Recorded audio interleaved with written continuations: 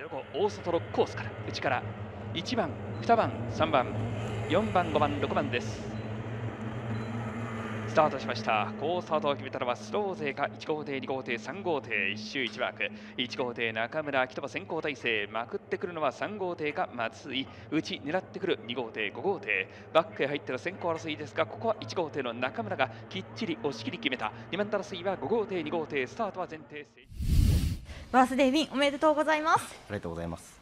乗って違和感があればプロペラ叩きますし違和感がなければそのまま行きますししっかり試運転確認作業をしたいと思ってます。男見せたいと思ってます。応援よろしくお願いします。